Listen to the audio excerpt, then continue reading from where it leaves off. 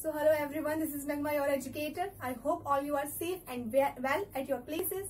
So uh, students uh, अपना ख्याल रखिए हमारे वीडियोस देखते रहिए ताकि आपकी पढ़ाई का भी लॉस ना हो हमने लास्ट सेशन में अपने uh, नया चैप्टर शुरू करा था which is sexual reproduction organism जिसमें हमने थोड़ा सा बेसिक इंट्रो देखा था अपना सेक्सुअल रिप्रोडक्शन हमारे जो सेक्सुअल रिप्रोडक्टिव पार्ट्स किस हमारे प्लांट प्लांट्स के पार्ट में प्रेजेंट होते हैं, हमने देखा था दैट फ्लावर में हमारे रिप्रोडक्टिव ऑर्गन प्रेजेंट होते हैं। हमने उसका बेसिक इंट्रो लिया था। हम फ्लावर के स्ट्रक्चर के बारे में बात कर रहे थे। आज हम उसके कंपोनेंट्स के बारे में बात करेंगे। एक्सटर्नली आप जब फ्लावर को देखते हैं तो आपको कंपोनेंट्स दिखाई देते हैं। जब आप किसी को फ्लावर देते हैं तो क्या देखते हैं कि वो एक स्टॉक होता है स्टॉक से आप पकड़ के देते हैं, ठीक है? हम उसके बारे में बात करेंगे कि डिफरेंट पार्ट्स के बारे में बात करेंगे मेनली अगर हम करें तो। तो फ्लावर में मेनली हमारे कितने पार्ट्स प्रेजेंट होते हैं? हमारा फ़र्स्ट वन हमारा जिसे हम उसको पकड़ते हैं, उसको क्या बोलते हैं? उसको हम बोलते हैं थैलेमस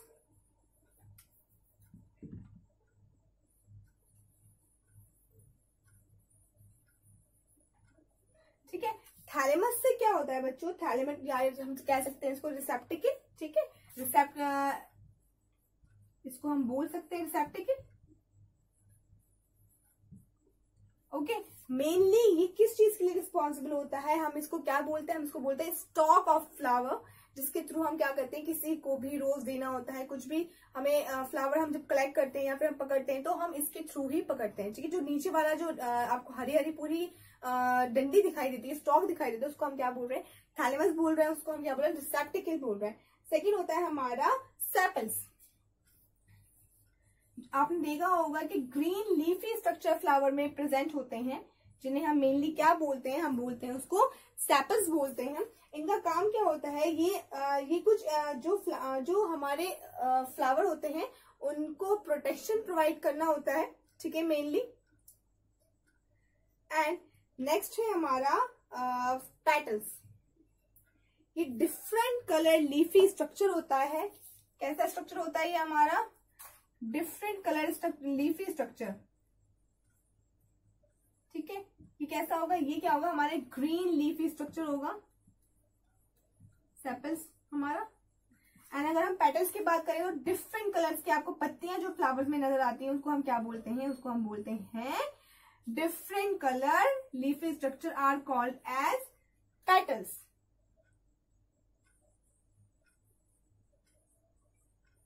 Okay okay?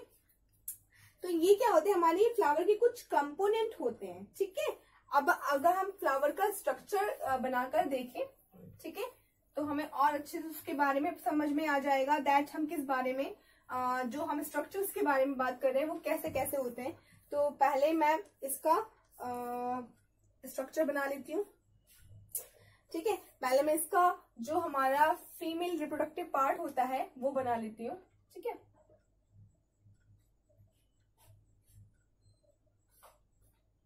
ये हमारा, इसमें थ्री पार्ट्स होते हैं बच्चों। ठीक है? इसमें इस, इसको थ्री पार्ट्स में डिवाइडेड होता है ये, जिसको हम मेनली क्या बोलते हैं? इसको हम बोलते हैं stigma style and ovary okay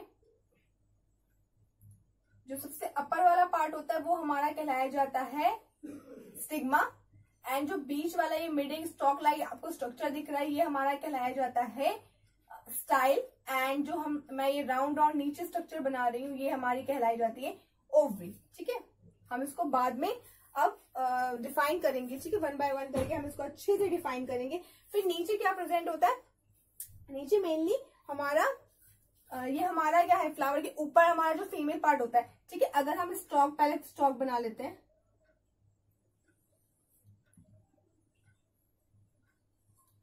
ठीक है? इसमें से हमारे क्या निकलते हैं? ग्रीन लीफ ही हमारे स्ट्रक्चर हमें दिखाई देते हैं। जो क्या कहलाते हैं हमारे सेपल्स ठीक है? अब कुछ ऐसा स्ट्रक्चर दिखाई देता है। कैसा? ऐसा स्ट्रक्चर दिखाई देता है हमें। बाई लोब स्ट्रक्चर है, दो लोब प्रेजेंट है यूनिलोब भी स्ट्रक्चर हो सकता है। ठीक है? ये हमारा क्या कहलाया जाता है? ये हमारा कहलाया जाता है मेल रिप्रोडक्टिव ऑर्गन जिसे हम क्या बोलते हैं? इसे हम बोलते हैं मेनली स्टिमन ओके जो फीमेल वाला होता है, जो हमने ये स्टाइल स्टिमा और ओवरी बनाया था, उसको हम बोलते हैं कार्पल ठीक है? अब हमारा थैलेमस आ गया हमारा सेपल्स आ गया अब हम पेटल्स बनाएँगे इसके ऊपर ठीक है? और हमारा ये क्या है? ये हमारा कार्पल आ गया कार्पल या पिस्टल जो क्या होता है? फीमेल रिप्रोडक्टिव ऑर्गन हमारा ये हमारा क्या कहलाया जाता है? ये हमारा मेल रिप्रोडक्टिव ऑर्गन या कहलाया जाता है हमारा स्टिमन ठीक है? अब हम इस, इसको कवर अप कर लेते हैं लीव्स में। इस तरीके से कुछ स्ट्रक्चर आपको मिलता है?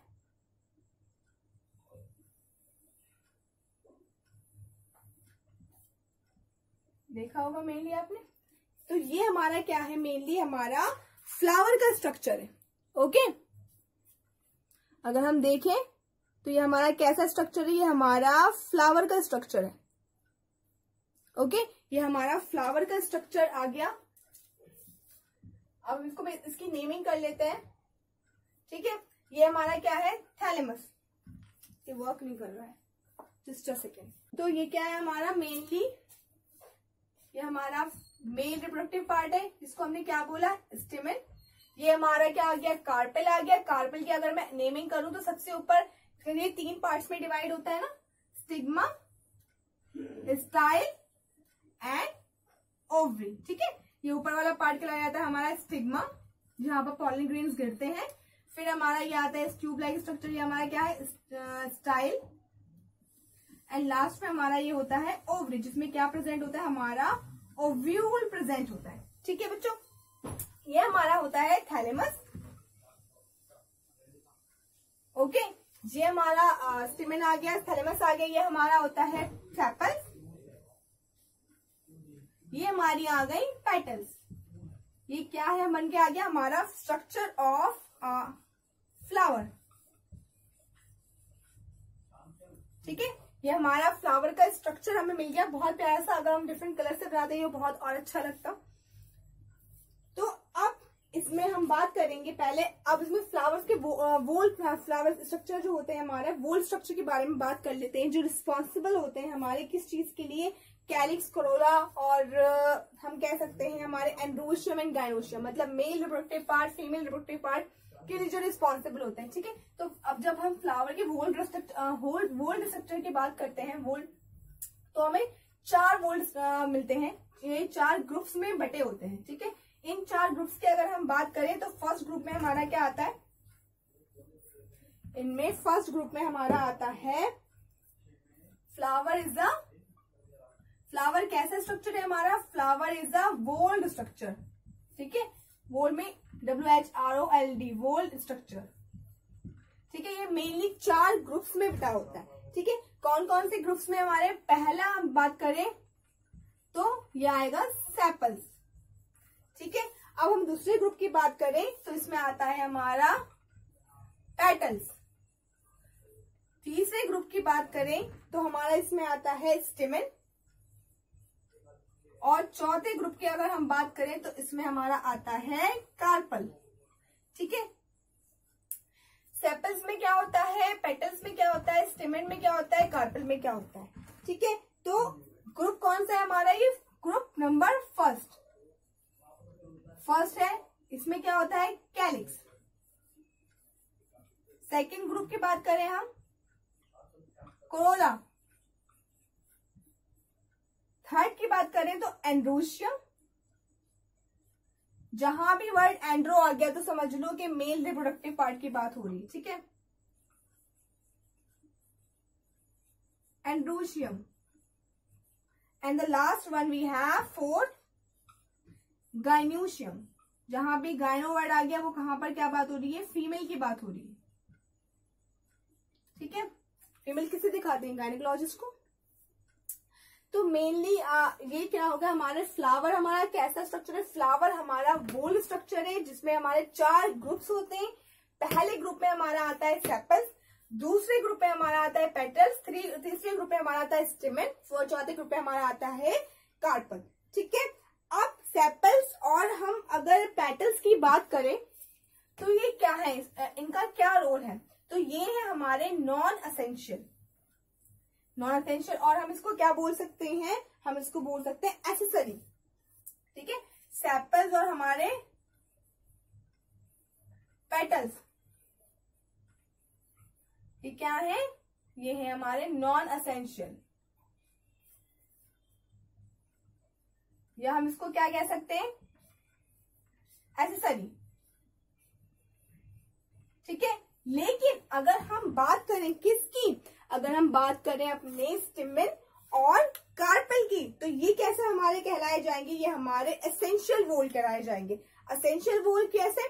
क्योंकि इनका मेन रोल प्ले कर रहे हैं, क्योंकि क्या है, हमारे मेल और जो हमारा फीमेल रिप्रोडक्टिव ऑर्गन है, कि क्या है, हमारे जो हमारे स्टिमिन एंड कार्पल है, वो हमारे क्या है male and female reproductive organ है, जो इसमें क्या प्रेजेंट है हमारा?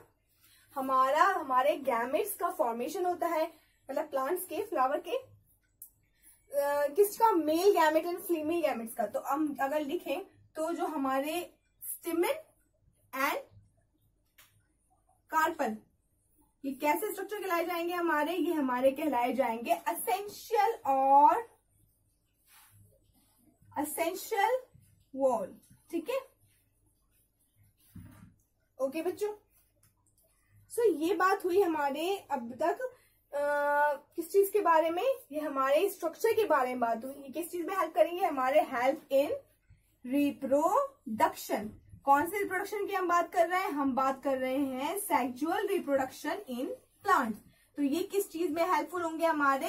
सेक्सुअल रिप्रोडक्शन इन प्लांट्स में हेल्पफुल होंगे। ओके स्टूडेंट्स अब हम अपने नेक्स्ट क्लास में अपने इसका जो हमने आज अपने फ्लावर का स्ट्रक्चर देखा था, उसकी थोड़ी फ़ंक्शंस देखेंगे।